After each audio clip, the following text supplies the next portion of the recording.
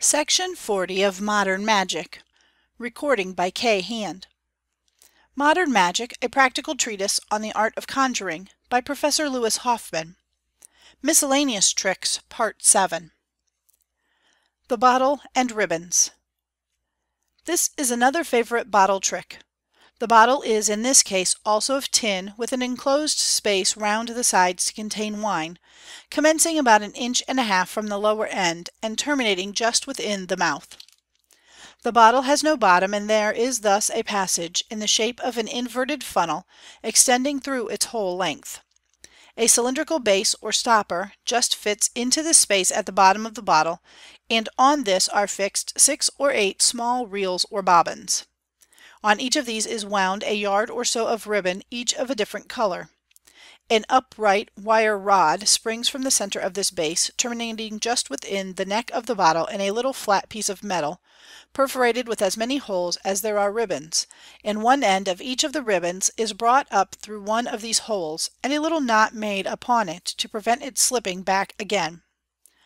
The ribbons being in position, and the space in the bottle duly filled with wine, the performer brings it forward, and after pouring out a glass or two, asks some lady present which is her favourite colour, and on receiving an answer, gently taps the bottle with his wand, and immediately draws out with the tip of his forefinger from the neck, and presents to her, a ribbon of the desired colour.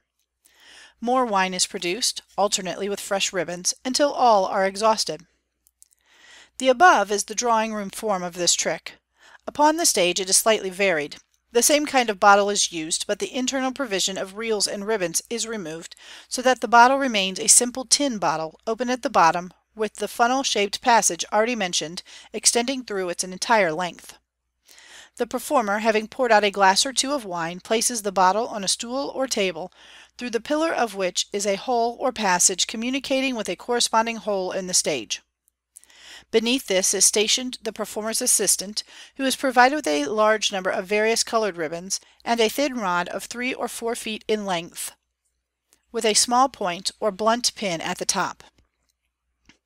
The performer takes care always to repeat in an audible voice the name of the color called for. This is a signal to the assistant to hitch one end of the ribbon in question on the top of the rod, and hold it in readiness beneath the stage. He does not, however, push it up through the bottle until warned by the sound of the tap of the wand on the bottle that the performer is ready to receive it. The performer, on his part, takes care, before tapping the bottle, to place his thumb upon the mouth so as to prevent the rod passing too far. Sometimes a combination of colors is asked for, as, for instance, the tricolor, or any other national group of colors. After having produced a reasonable number of ribbons, an effective finish may be made as follows: A last color or combination of colors having been demanded, the performer does not draw the ribbons, as hitherto, completely out of the bottle, but leaves them hanging down loosely on each side of it. He now announces that at the word of command the ribbons shall, of their own accord, return into the bottle. The assistant takes his cue accordingly, and at the third tap of the wand draws the ribbons smartly down again, their instantaneous disappearance within the bottle being exceedingly effective. The New Pyramids of Egypt, or the Wine and Water Trick.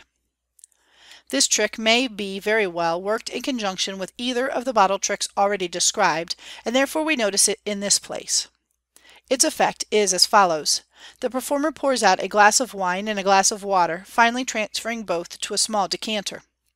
Placing the decanter on a small round stand, and the empty glasses on similar stands on either side of it, he covers each with a pyramidal cover, and announces that at his command the mixed wine and water will again separate, and pass into the empty glasses, the spectators being allowed to choose into which of the glasses each element shall pass.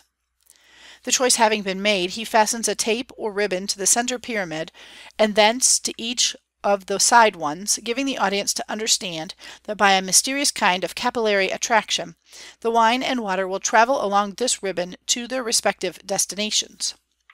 A few moments having elapsed, the ribbons are untied and the covers removed. The decanter is found to be empty, and the wine and water to have respectively returned to the glasses designated by the audience. The glasses have no speciality, but the decanter has a small hole in its under side. This is plugged with a pellet of wax, which, however, is instantly removable at pleasure. Of the three stands, two, those on which the glasses stand, have no preparation, being mere raised shapes of tin. The third is similar in appearance, but is, in fact, a hollow box, with three or four little holes drilled in its upper side, for a purpose that will presently appear.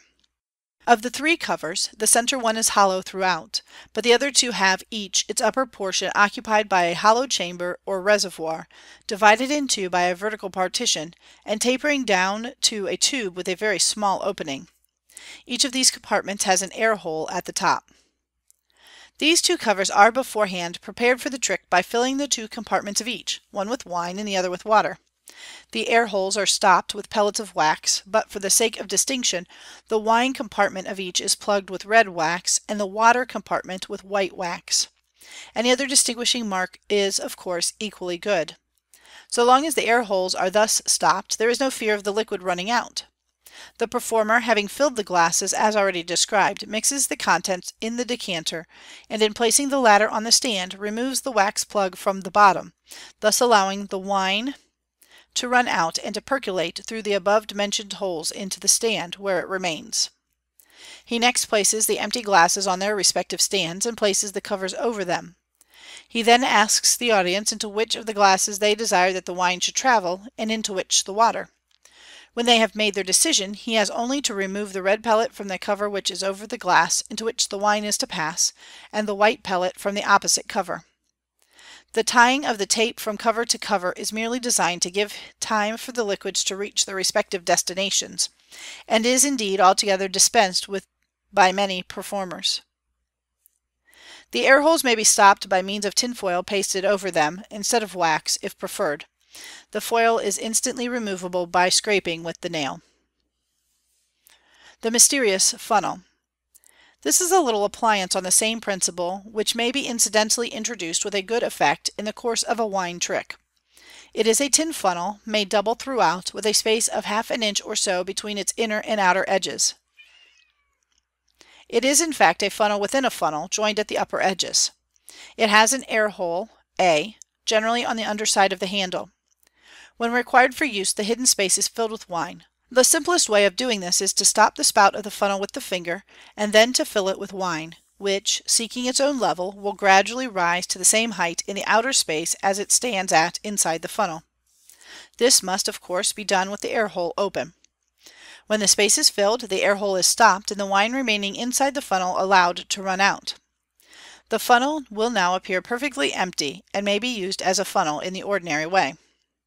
The mode of using the funnel is somewhat after the following manner, subject of course to variation, accordingly to the taste and invention of the performer. A juvenile is invited to take a glass of wine, the produce of either of the preceding tricks. When he has imbibed it, the performer asks a second juvenile whether he would like a glass also. The reply is pretty sure to be in the affirmative, but the performer pretends to find, when about to oblige him, that his store is exhausted. He begins to apologize for the supposed disappointment, but as if suddenly bethinking himself, says, However, you shan't be disappointed. If I can't supply you in the natural way, I must do so in a supernatural way. Suppose we take back the wine this young gentleman has just drunk. I don't suppose it will be any the worse. Let me see. Where is my magic funnel? Oh, here it is. Let us make sure first that it is quite clean. He pours water through it, then holds it up to the light in such a manner that the audience can see right through, thus indirectly showing them that it is empty. Now, sir, addressing the youngster who has drunk the glass of wine, I am going to take back that glass of wine. Be kind enough to bend your elbow and hold it over the mouth of the funnel, so. And you, sir, addressing the expectant, perhaps you will be kind enough to take this young gentleman's other arm and work it gently up and down. In fact, we are going to transform him into a pump. Now, sir. The performer holds the glass under the funnel, and as soon as the pretended pumping begins, opens the air hole. When the wine runs into the glass, it is handed to the second young gentleman as a reward for his exertions. Acted with spirit, this little interlude is sure of an uproarious reception from the juvenile portion of the audience, particularly if the operator possesses the magic bradawl described at page 332, and makes use of it to bore a small hole in the victim's elbow before beginning to pump the wine from it. The box of bran transformed to a bottle of wine. While upon the subject of wine tricks, we may mention this, which is by no means the least surprising of the illusions to which "the bottle" gives birth. The necessary apparatus consists of four pieces. First, a plain cylindrical tin box, a, japanned to taste, and about six inches high by three in diameter. Secondly, b, a similar box, so far as external appearance is concerned, but materially different in its internal construction. This latter is bottomless, but has a horizontal tin partition at about three quarters of an inch from the top. These two boxes have but one lid, which fits either indifferently. The third article is a cylindrical pasteboard cover, closed at the top, and of such size as to fit loosely over B, but an inch or two taller. The fourth item is a bottle, made of tin, japanned black, and of somewhat peculiar construction. As a measure of capacity, it terminates just below the shoulder, the remainder or body of the bottle being in fact merely a tube closed at the bottom, in which this upper portion works. A spiral spring within the body presses the neck portion upward into its proper position, but if pressure be applied, the neck portion will sink downward into the body, as shown in Fig. 214, in which condition it just fits into B. A small point projects from the lower part of the bottle and corresponds with a bayonet catch at the bottom of B, which is in fact designed as a case or cover for the bottle. For the performance of the trick the operator will require, in addition to the apparatus above mentioned, an oblong deal box half full of bran. Rice is sometimes used, but is not so good. Any box will answer the purpose so long as it is not less than 15 inches or so in length and 9 in breadth and depth. In preparing for the trick the first step is to fill the bottle, or the fillable portion thereof, with wine or some other liquid. The bottle is then corked, B is placed over it and pressed down, and the bayonet catch fastened. In this condition, but without a lid, B is placed in the deal box and buried in the bran. The box of bran being now brought forward and placed on the table, the performer is ready to begin the trick. He first draws attention to A, which he hands round for inspection, as also the pasteboard cover. When they are returned he brings forward the box of bran, moving his hand backwards and forwards in it, and distributing a few handfuls to show its genuineness. Replacing the box on the table, he proceeds to fill A with bran, this he does by dipping A completely in the box and scooping up the necessary quantity.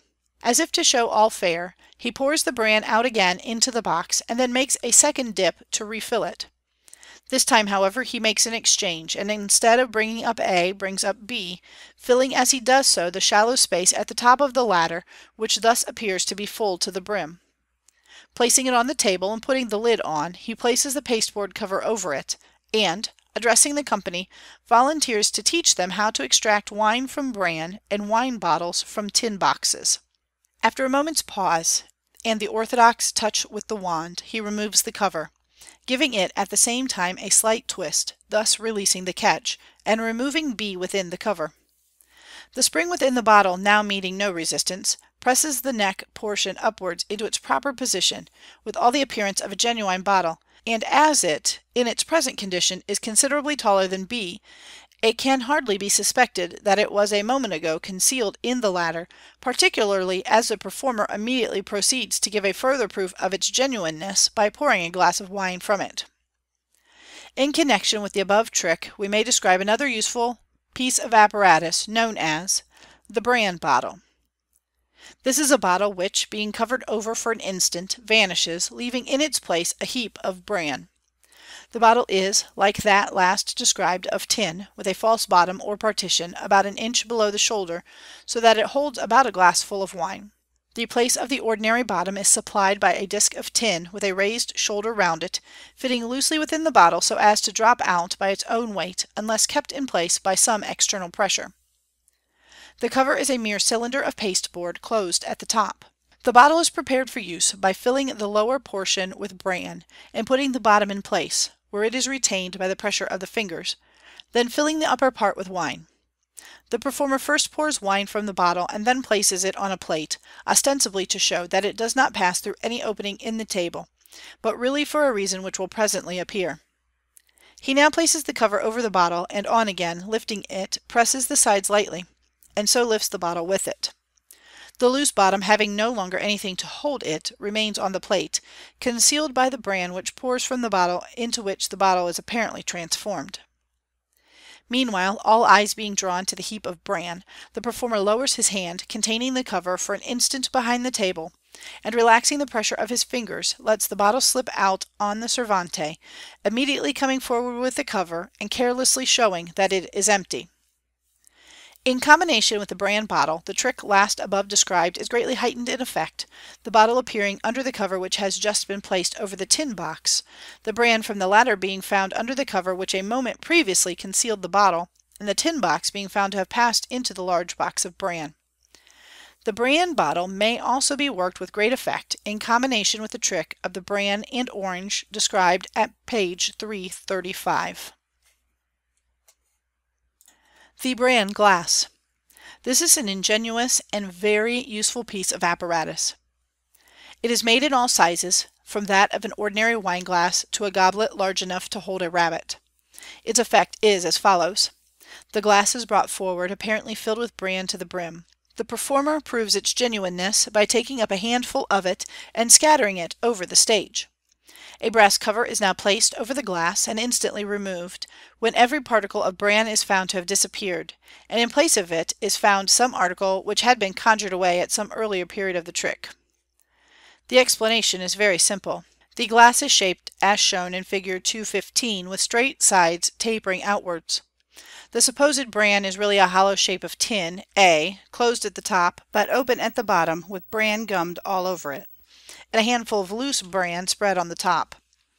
At each side of its upper edge is a little wire point just overpassing the edge of the glass. The cover, which is of such size as to cover the glass as far as the upper part of its stem, has no speciality about it save a shallow groove running round its upper edge on the inside, as shown by the dotted line.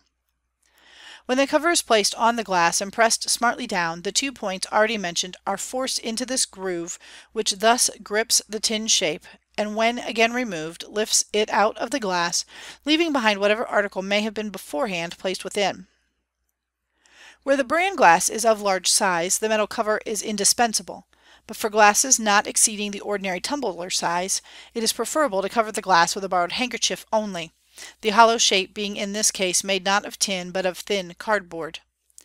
The two points are dispensed with, but in place of them there should be a piece of thread, in length about double the diameter of the glass, fastened from side to side of the shape. This, hanging down on the side of the glass which is toward the performer, is caught hold of through the handkerchief, and thus the handkerchief and shape are lifted together. The bran glass may be made available in a variety of ways. The trick next following will afford a good practical illustration of its use. End of section 40. Section 41 of Modern Magic. Modern Magic, a practical treatise on the art of conjuring, by Professor Louis Hoffman. Miscellaneous Tricks, Part 8.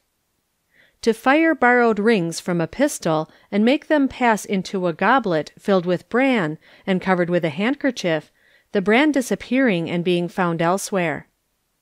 The glass used in this instance is of ordinary tumbler size. It is not brought forward as above, with the brand shape already in place, but empty, and may therefore be freely offered for inspection. With it is brought forward a wooden box of any size and shape filled with bran, and in this, ready to hand, is concealed the bran shape. We have already had occasion to describe the magic pistol, or rather pistol tube, but the tube used in this instance (see Fig. 217) has an additional peculiarity. It is of comparatively small size, being about two inches wide at the mouth. Within this mouth fits easily a tin cup A, about an inch and three quarters in depth, and having its edge turned over outwards all around, so as to afford a ready grip to the palm when it may be necessary to remove it. The pistol is beforehand loaded with powder, and the cup above described is placed in the mouth of the tube. The performer begins by asking the loan of three rings to be fired from his magic pistol.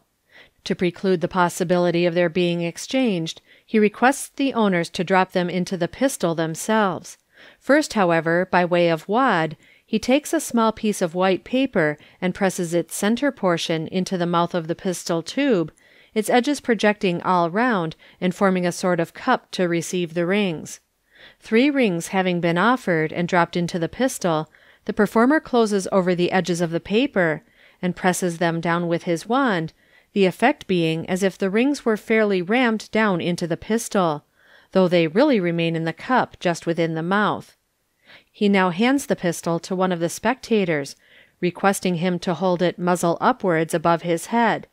In handing it to him, he places for a moment his own right hand over the mouth of the tube, his palm being flat upon it, and in again removing the hand, lifts out and palms the cup, which the projecting edge enables him to do with perfect ease. He has thus obtained possession of the rings. As the holder of the pistol has been instructed to hold it above his head, he is not very likely to look into it, but lest he should do so and discover that the rings are already removed, it is well to place in the tube beforehand a piece of crumpled white paper to represent that which contained the rings. The performer now hands round the glass for examination, and subsequently draws attention to the box of bran. While doing this, he has little difficulty in getting the rings out of the cup and paper into his right hand.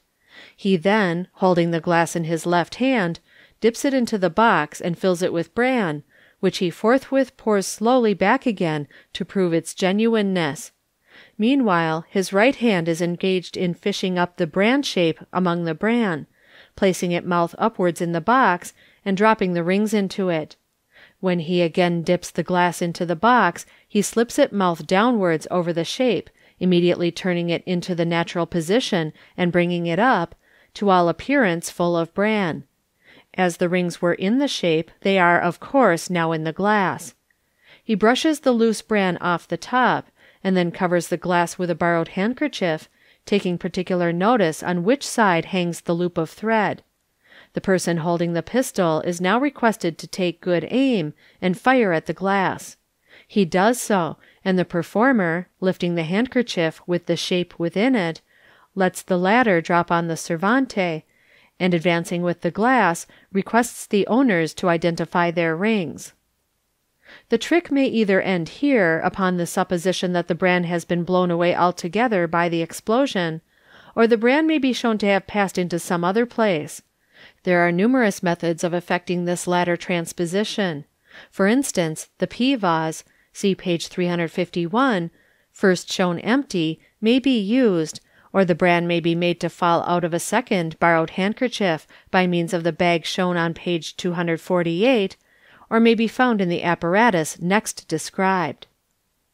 The Domino Box, sometimes called the Glove Box. This is a little oblong box of walnut or rosewood measuring about four inches in length by two inches in width, and an inch and a quarter in depth.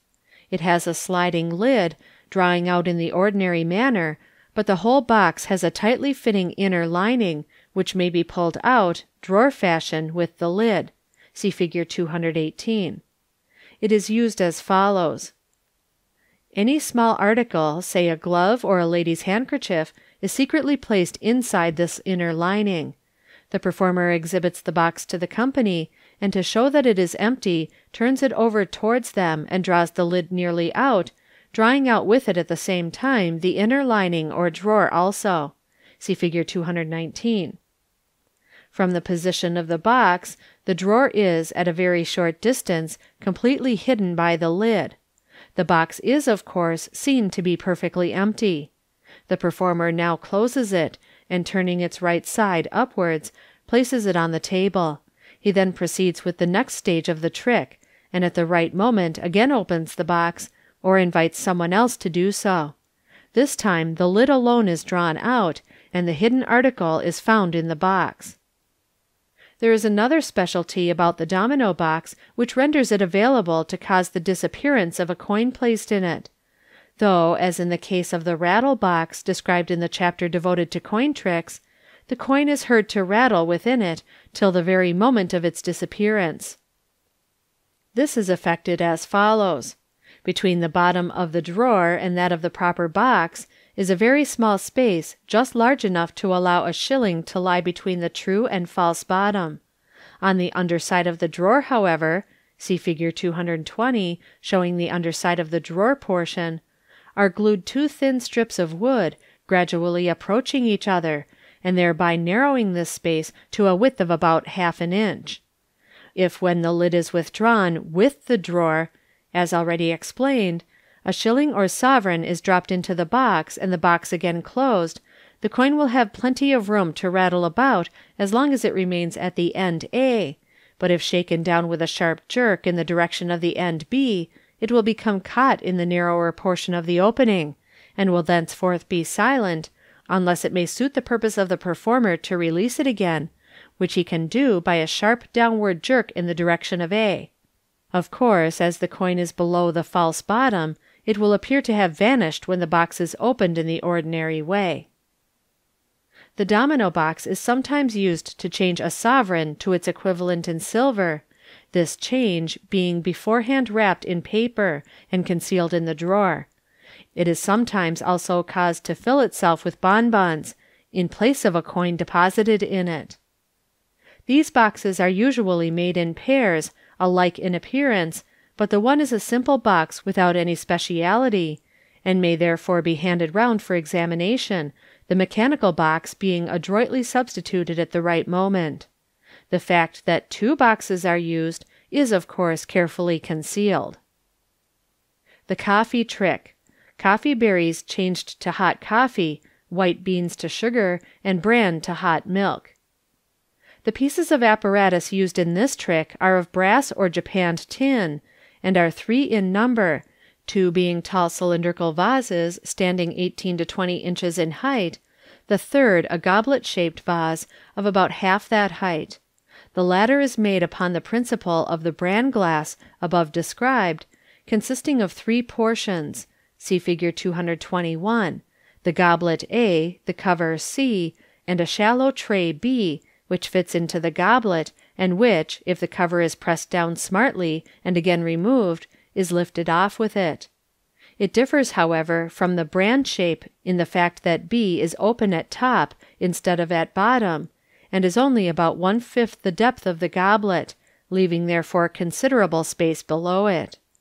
This portion of the apparatus is prepared for use by placing in the goblet a quantity of hot milk, putting b in position above it, and finally filling b with loose bran.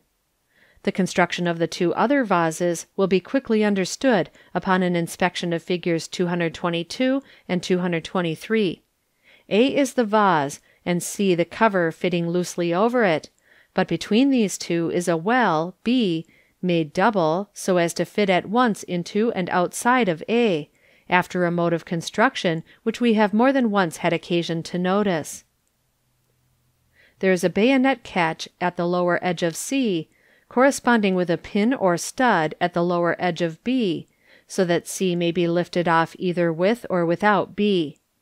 There is a similar catch at the lower edge of b corresponding with a stud at the bottom of a, but cut in the opposite direction to the other catch, so that the action of unlocking a from b locks b to c, and vice versa. The vase a requires a special description.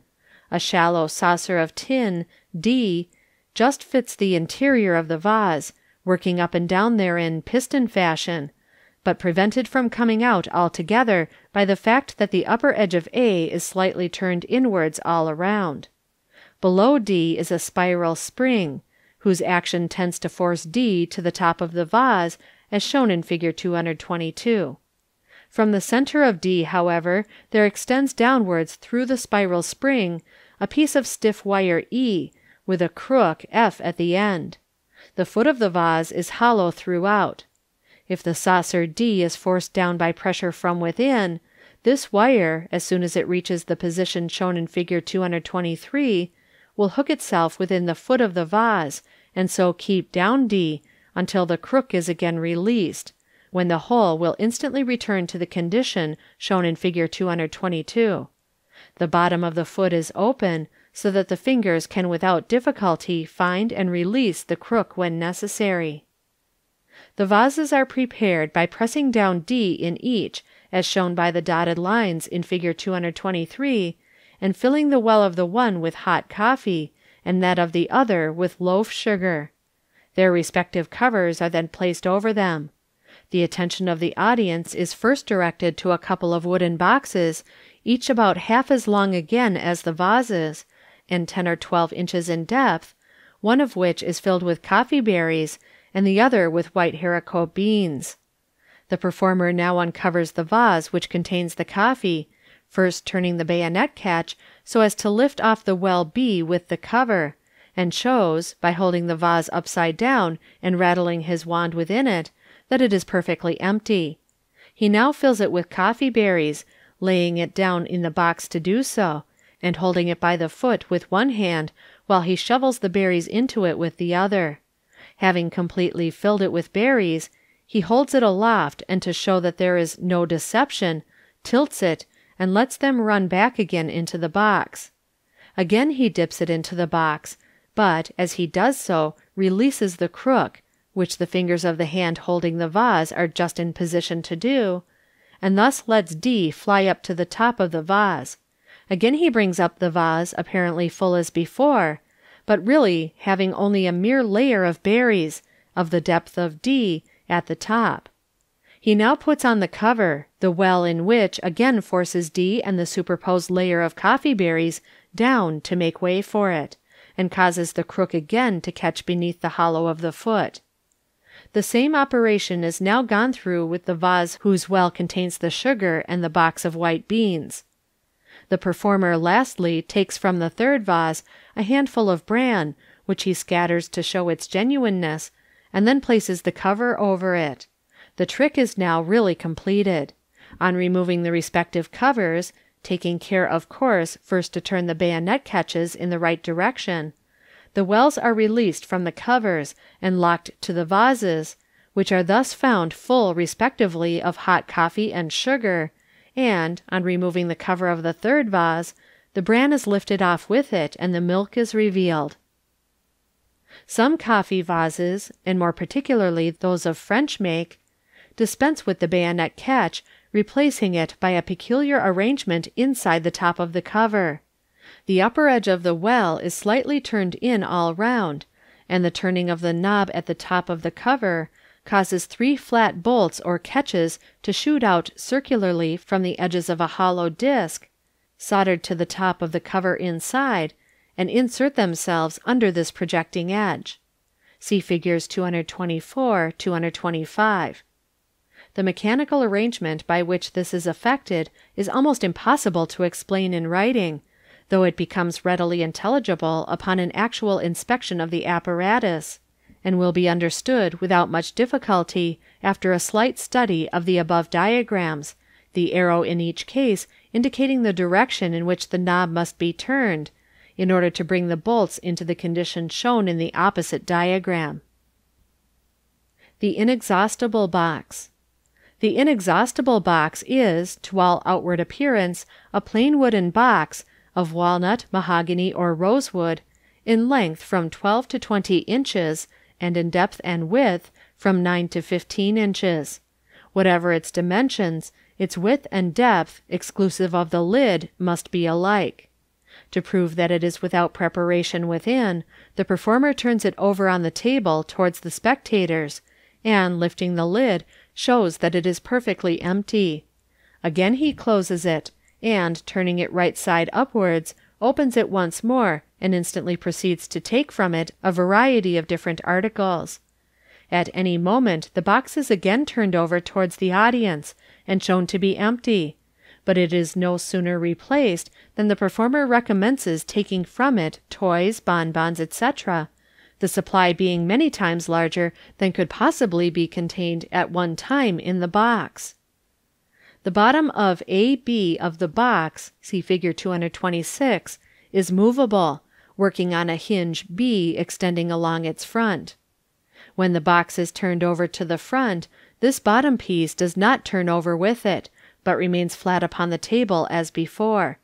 A piece of wood b c, of exactly similar size and shape, is glued to a b at right angles. When the box stands right side upwards this piece lies flat against the front of the box, whose upper edge is made with a slight return, so as to conceal it. When the box is turned over to the front, this piece, like the bottom, retains its position, while any object which had previously been placed in the box remains undisturbed, but hidden by this latter piece.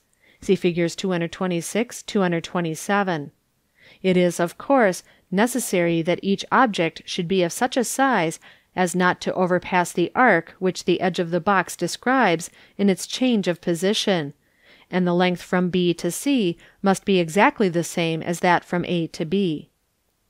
The mode of using the box will require little explanation.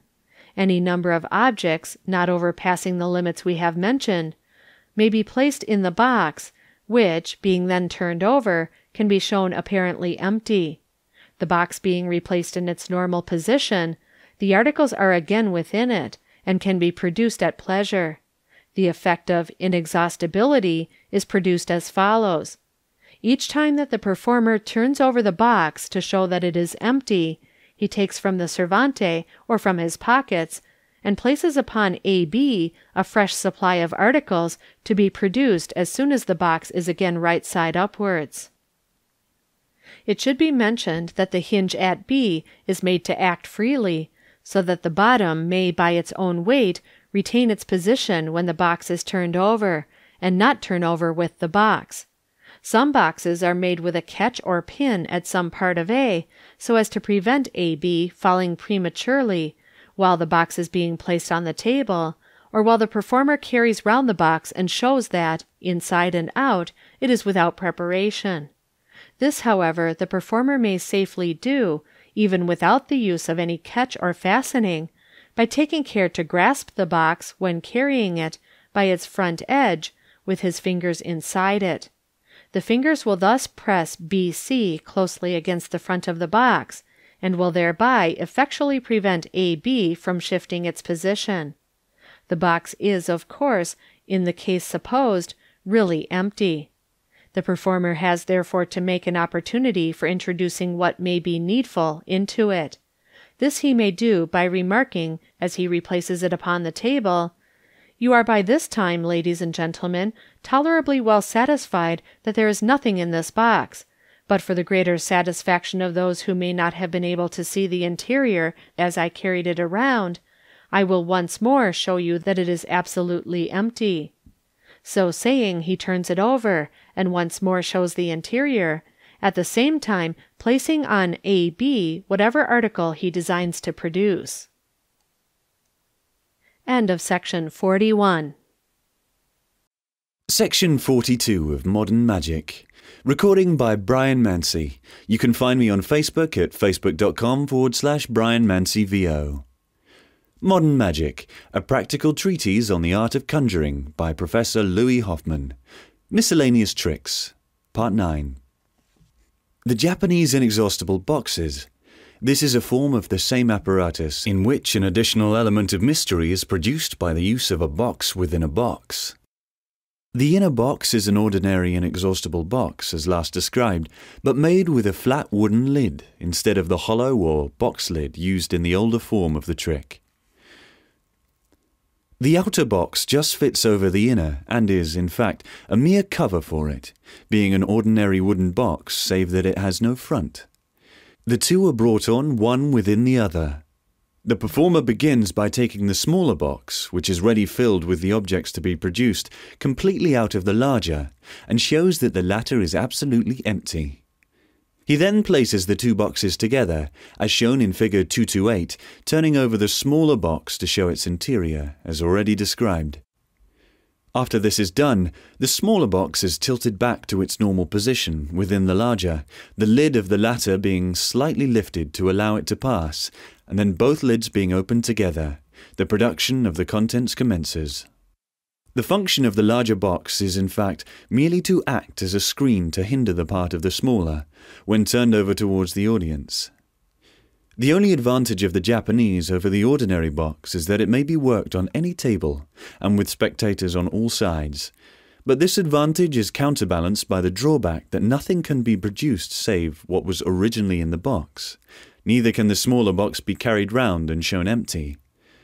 This, however, may be met by beginning the trick with the two boxes together, and then, after having brought to light the whole of the original contents, offering, for the pretend purpose of heightening the effect, to continue the trick without the aid of the outer box.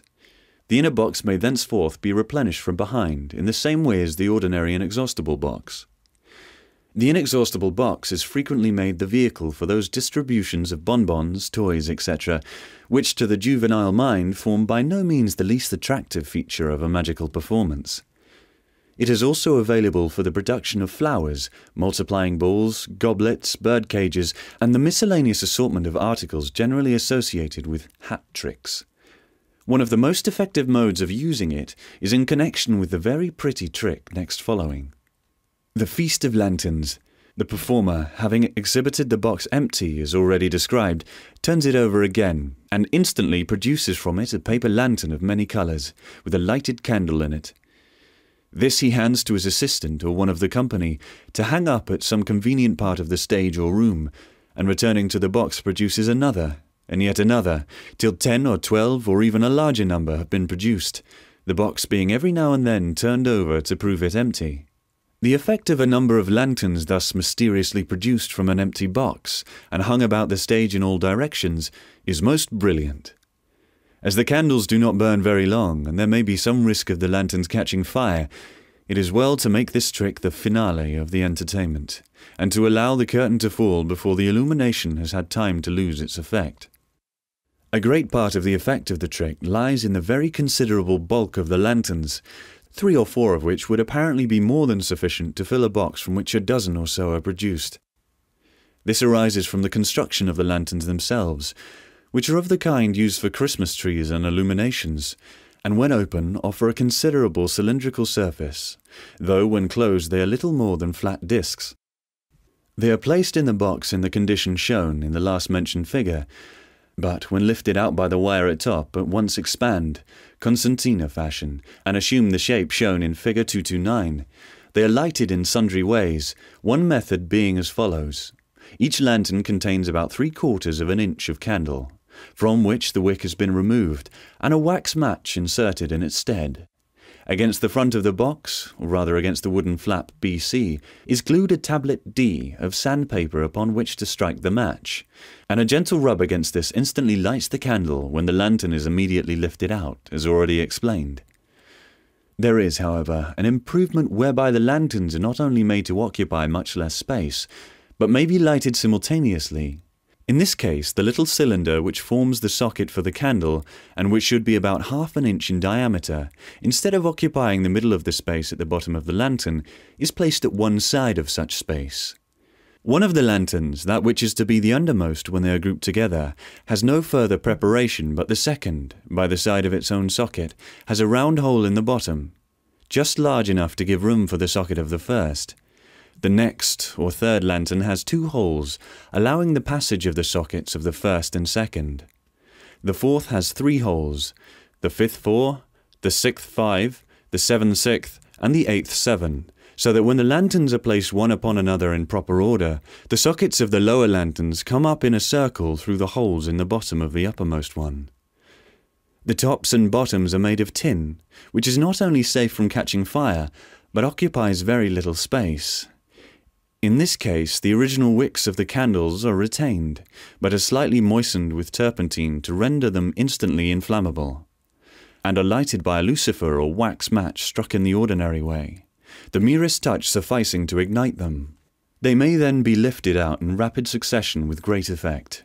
A group of six or eight lanterns thus prepared may be produced from a borrowed hat, being previously concealed in the breast or tail pocket of the performer, and loaded into the hat at any convenient opportunity. It is desirable in this case to have a friction tablet glued upon the top of the uppermost lantern to strike the match upon, as the hat lining is hardly adapted for that purpose. The lanterns above described are the most generally used, and are by much the easiest to manipulate. There is, however, a spherical lantern also obtainable at the toy shops, which has a decidedly prettier effect. This form of lantern is, when shut up as shown in figure 231, to develop it, the wires A and B are each made to describe a semicircle, as shown by the dotted line, bringing the whole into the condition shown in figure 232. in which condition it is maintained by slipping the loop of A under B. The best plan for lighting in this case is to have a separate small piece of candle, prepared with a match wick as above mentioned, placed in readiness on the servante, and a small pin or sharp nail projecting upwards from the bottom of the box to act as a candlestick. The candles in the lantern will in this case need no special preparation. The performer first lights the prepared candle by rubbing it against the tablet, and then presses it down upon the upright pin we have mentioned. The other candles are in turn lighted from this, each lantern being put into shape before being lifted out of the box, which must in this case be of tolerable size in order to admit of their ready development. The butterfly trick. This is a trick of Japanese origin, which became very popular two or three years since. In effect, it is as follows. The performer brings forward an ordinary fan and a couple of bits of tissue paper, each torn into a fanciful likeness of a butterfly. Taking these upon his hand, he gently fans them, the motion of the air speedily causing them to rise above his head. Still gently fanning them, he causes them to hover, now high, now low, now fluttering along the wall, now descending into a gentleman's hat, whence they presently emerge to again flutter hither and thither at his pleasure. The point that most strikes an attentive observer is the fact that, whether they fly high or low, the butterflies always keep together, Sometimes they may be a couple of feet apart, sometimes only a few inches, but they never exceed the above limit, and the spectator naturally concludes that an extraordinary degree of dexterity must be necessary to enable the performer to keep them from diverging more widely. Here, however, in truth lies the secret of the trick, which is that the so called butterflies are connected by a piece of very fine silk a couple of feet in length, which, when the butterflies are in motion, is absolutely invisible to the spectators. The remainder of the trick is a matter of practice, though it is less difficult than would be imagined by anyone who had never attempted it. Some performers have the silk thread attached to one of the buttons of the coat. This arrangement will be found greatly to facilitate the working of the trick. The paper for the butterflies is better torn than cut, and should be as nearly as possible of the shape of St. George's cross, and about two inches square. The Wizard's Omelette borrowed rings and live doves produced from an omelette. This is a trick which always produces a great sensation, whether performed upon the stage or in the drawing room. Its effect is as follows. The performer produces either naturally or magically, e.g., from the egg bag or from the mouth of Mrs. Assistant, as described at page 329, three eggs which he hands round for examination. His assistant next borrows from the audience three ladies' rings, receiving them in order to prove that he does not tamper with them in any way, on the performer's wand instead of in his hands. The wand, with the ring still upon it, is laid upon the table. The assistant next brings in an omelette pan and places it, with its lid beside it, on the table. The performer breaks the eggs into it, dropping in shells and all, then pours some spirits over it, to which he sets fire and while it is still blazing, drops the rings from the wand into it. He brings it forward to show that the rings are really in the flames, and on returning to his table, claps the cover on the pan and fires a pistol, any ordinary pistol, over it, without a moment's interval. He again removes the cover.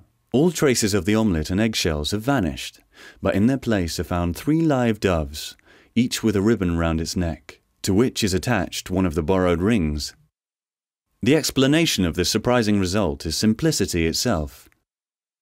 The reader, with his present knowledge, will readily conjecture that, as to the rings, a substitution is effected, but he may not so easily guess the manner of such substitution.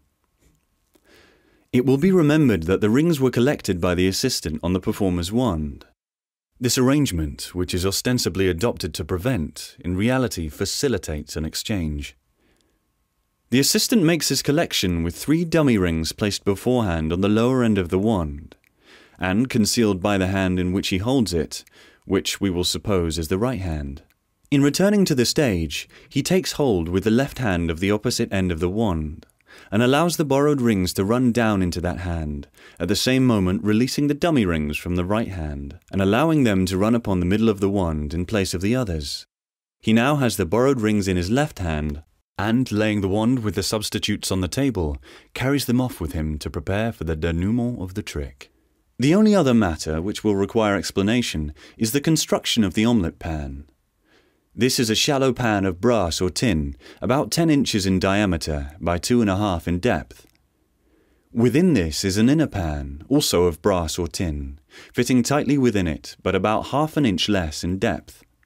The lid is made with a very deep rim or shoulder all round, and just fits within the lining, though less tightly than the latter fits within the pan. See figure 233, in which A represents the pan, B the lining, and C the lid.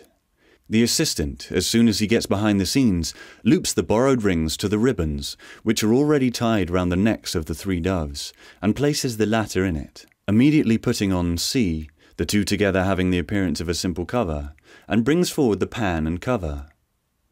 The performer now makes his omelette and drops the substitute rings into it.